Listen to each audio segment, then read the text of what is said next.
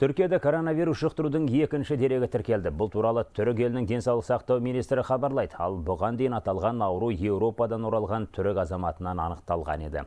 Осыған байланысты үкімет мүшелері мен тиісті ведомство өкілдері шұғыл түрде мәжіліске шақырылды. Ел президенті Режеп Тайып Ердоғанның төрағалығымен өткен отырыс 5 сағатқа созылды. Жиында бір қатар шешімдер қабылданып, сақтық шаралары талқыланды. Қалыптасқан жағдайға орай қабылдаған шешімдердің арасында ең назар аударатыны қоғамдық денсаулық сақтау мәселесі мен оқу үдерісінің қауіпсіздігі. Мәселен, Түркияда орта білімде бір апталық, жоғарғы оқу орындарында үш апталық үзіліс жарияланды.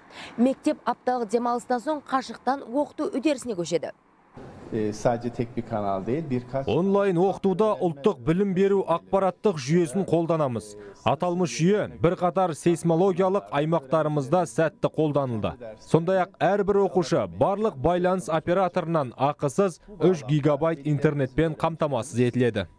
Азаматтарға жиын тойларды қысқартып, көпшілік орындарға бармауға кеңес берілді. Ал спорттық жарыстар көрерменсіз өтетін болды. Түркияның ұлттық білім беру министрі мен мәдениет және туризм министрлігі ортақ мәлімдеме жасап, барлық деңгейде жоспарланған ірілі ұсақты мемлекеттік және халықаралық жиындарды кейінге шегерді Uzmanların e, yaptığı спорттық шараларға қатысты қабылданған шешімді орынды деп есептеймін себебі ең көп халық осы жерде бас қосады сондай ақ мемлекеттік қызметкерлерге қатысты бірлескен қарар қабылданды ол бойынша қызметкерлер шұғыл жағдайда ғана шет елге шыға алады Әдетте наурыздың соңында туристерге есік ашатын түркелі бұл жолы демалушыларды сәуірдің соңында қабылдайтын болды. Ал елдің шығысын мекен ететін этникалық күрттер наурыз мейрамын биыл атап өтпейді. Мемлекет басшысы жағдай тұрақталғанша шетелдік сапарын кідіртеді kültürel etkinlikler ve organizasyonlarla ilgili bakanlığımıza bağlı genel мәдени шараларды сәуір айының аяғына дейін шегеруді жоспарлап отырмыз ал қонақ үйлер жұмысын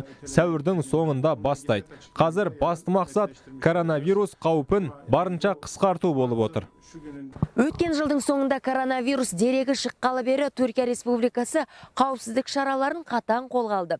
Етек жеңін ерте жинап, сақадай сай болған туыстас ел індет ел ішіне жеткенше аса абыржи қоймады. Дегенмен сақтық шараларын бұрынғыдан да күшейтті. 83 миллиондық түрік қоғамы сауысқандай сақ отыр.